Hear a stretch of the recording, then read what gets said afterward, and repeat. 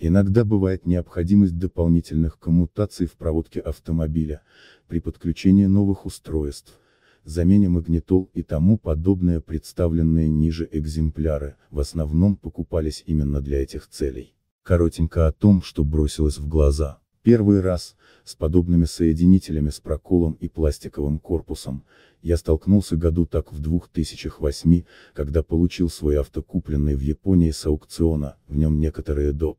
Опции были скоммутированы именно подобной штукой и она меня тогда весьма заинтересовала, намного аккуратнее и проще в технологии соединения. Поэтому, после того как на Али попался на глаза более современный вариант решил купить его. Ну и заодно пару других, предлагаемых площадкой. Все купленные разновидности продается кулечками, как семечки, по 10 штук.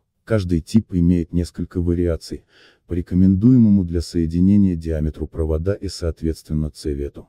Первый вариант, он же в шапке ссылка, предназначены для соединения проводов диаметром 0,5-6 мм. АГ-2210, для удобства имеют цветовую маркировку, в зависимости от рекомендуемого к использованию диаметра провода, состоят из двух частей, пластиковые клипсы, корпуса и металлической гребенки. Клипса имеет защелку, для фиксации цеи корпуса после обжима провода. Размеры, рабочие диаметры, при использовании не требуют специфического инструмента. И да действительно, голыми руками провод не зажать через корпус, по крайней мере у меня сил не хватило.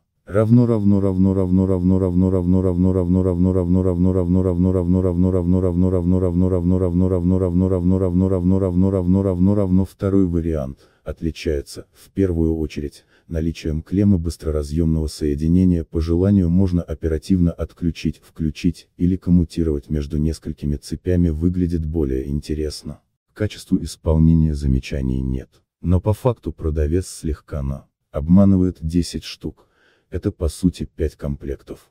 Устройство поскольку прокалывается один провод, то в данной конструкции это удается сделать вообще без инструмента, голыми руками. Понравилась форма контакта и то, как входит ответная часть, получается неплохой ножевой контакт с фиксацией. Из минусов. Отдельный контакт все равно необходимо обжимать или паять, то есть нужен инструмент. Контакты стандартные по размерам и форме, что позволяет их использовать в разных комбинациях соединений. Размеры так же как и прошлое имеют цветовую маркировку по диаметру применяемого провода. RED 22, 16 AG 05, 1,5 мм. Блю 16, 14 АГ, 2, 5, 4, 0 мм. Yellow 12, 10 АГ, 4, 0 мм. На вид, все прилично, хотя в первом варианте провода не слишком удобно загонять в отверстия, но в принципе после зажимов все очень неплохо. После снятия с ножа жила не повредила, но согнула, похоже с толщиной провода не угадал, толстоват. Насколько качественное покрытие контакта этих двух соединителей и как будет активно окисляться место соединения неизвестно.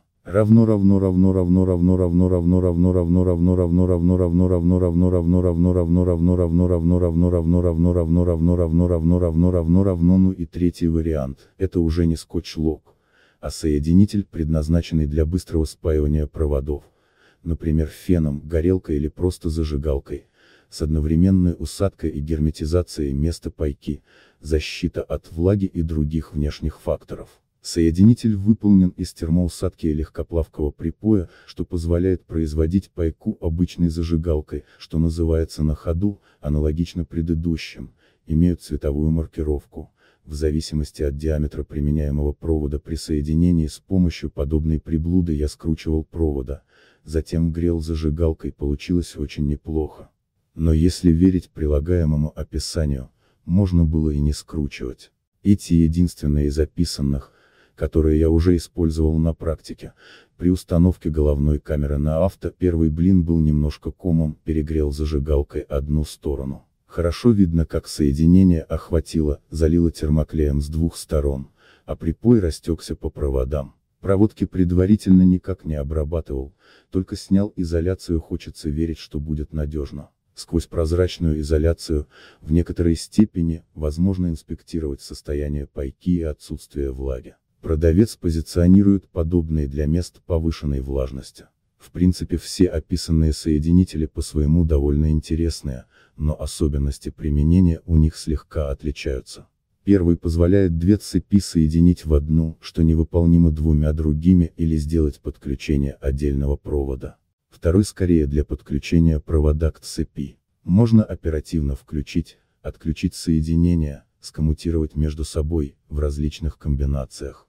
Короче интересная тема. Последний, для соединения двух проводов. Главный его существенный минус, можно соединить только два провода, а не подключаться к существующей цепи. Для себя остановился на двух последних. Второй из-за расширенных возможностей коммутации.